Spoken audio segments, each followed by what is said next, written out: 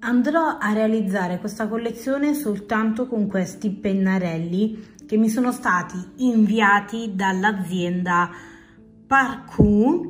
Ho fatto un video a proposito su questi pennarelli e ve lo lascio qui linkato da qualche parte. Su questo pezzo di carta ho fatto delle prove per vedere come si sfumavano i colori tra di loro e in più ho iniziato a creare una tabella per creare eh, delle tabelle colori perché la sfida consisterà appunto nell'utilizzare soltanto questi colori. Nel frattempo ho aperto Pinterest così eh, faccio una ricerca su, sui colori e su quello che posso creare con a disposizione questi pochissimi colori. Per il momento vado a creare una composizione con questi toni. Al momento queste sono le tabelle colori che ho creato. Tra le diverse combinazioni andrò ad utilizzare questa. Secondo me è quella più armonica rispetto alle due precedenti. Su alcuni toni, come potete notare, ho provato a miscelare due colori per vedere se riuscivo a creare altre tonalità per darmi ovviamente più spazio a livello di colorazione. Purtroppo non è che usciva chissà cosa. Ovviamente la stagione che si abbina meglio è l'estate.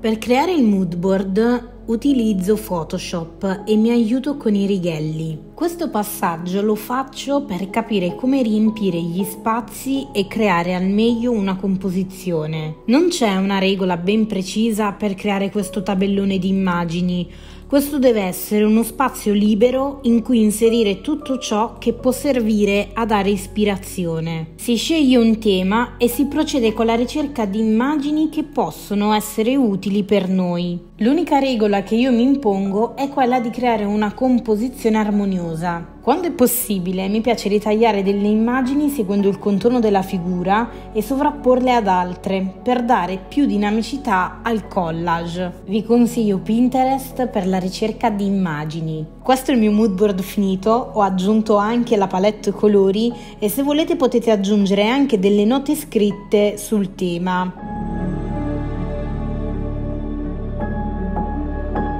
Disegnare le prime bozze significa iniziare a mettere su carta le prime idee. Non per forza questi modelli devono essere i definitivi. Questa fase è molto importante perché consente di capire cosa vogliamo e cosa non vogliamo. Per cui se i primi modelli che disegnate non vi piacciono, non scoraggiatevi. Non state disegnando un abito visto da una foto, ma state concretizzando una vostra idea. Ovviamente tutto questo richiede tempo perché dobbiamo dargli una forma, trasformare un'idea in realtà. Alcuni di voi sui social mi scrivono di riscontrare problemi sull'ispirazione. L'ispirazione secondo me è una fase non duratura. Questa dipende da molti fattori, uno di questi è l'ambiente che ci circonda. Evitate il caos, ambienti cupi e tutto ciò che può distrarvi. Al contrario, invece, la musica aiuta a creare ispirazione. Io quando devo creare un progetto ho bisogno di isolarmi dal mondo intero. Mi assicuro di stare in un ambiente armonioso senza nessuno che possa disturbarmi.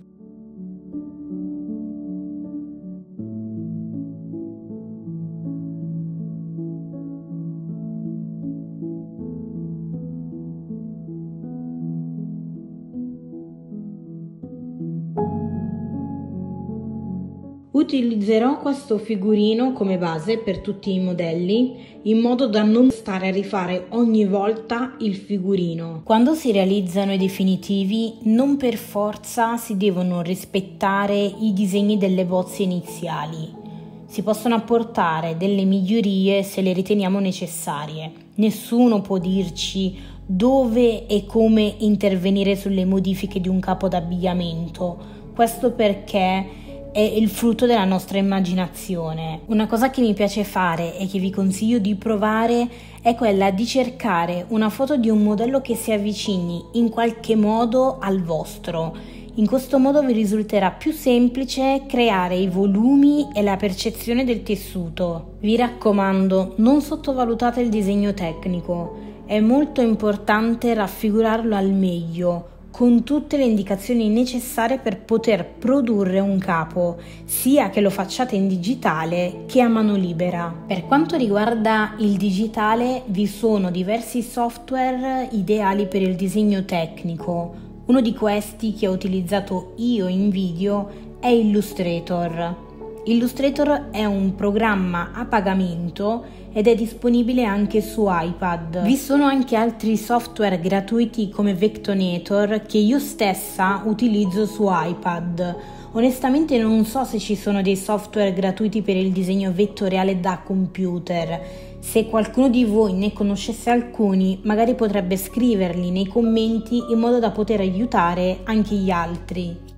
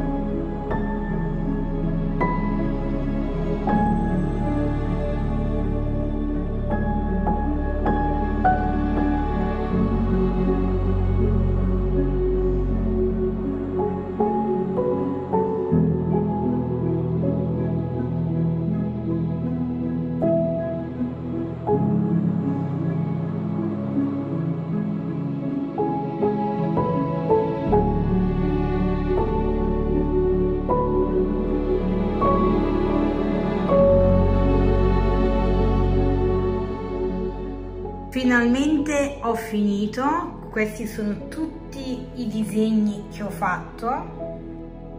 Io spero che questo video vi sia piaciuto, se volete vedere qualche tutorial nello specifico potete scrivermi qui sotto nei commenti. Io vi mando un grossissimo bacio e ci vediamo nel prossimo video. Ciao ragazzi!